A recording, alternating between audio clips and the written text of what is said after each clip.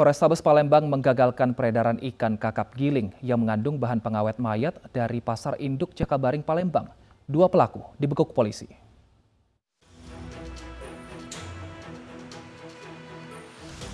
Sebanyak 8,3 ton ikan kakap giling yang mengandung zat kimia pengawet mayat tersimpan di gudang penyimpanan ikan di kawasan Pasar Induk Jakabaring Palembang. Temuan ikan mengandung formalin ini berawal dari informasi masyarakat dari hasil penyelidikan, zat kimia pengawet mayat yang terkandung dalam ikan telah melebihi kadar penggunaan zat kimia sehingga berbahaya jika dikonsumsi. Petugas juga mengamankan dua orang inisial Z dan I untuk penyelidikan lebih lanjut.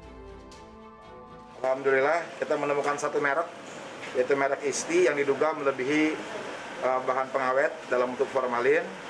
Satu formalin yang apabila kadarnya melebihi 0,01 sudah termasuk dalam uh, kadar makanan yang melebihi dari batas batas toleransi sehingga ini dapat dikategorikan makanan yang tidak layak untuk uh, dikonsumsi. Ya, bahwa formalin itu berbahaya pada jangka panjang. Memang tidak langsung dirasakan, tidak langsung begitu makan ini langsung sakit perut atau apa.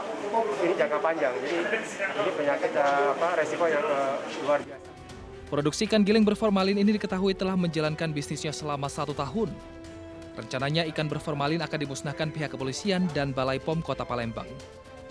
Dari Palembang, Sumatera Selatan, Muhammad David Ainus melaporkan.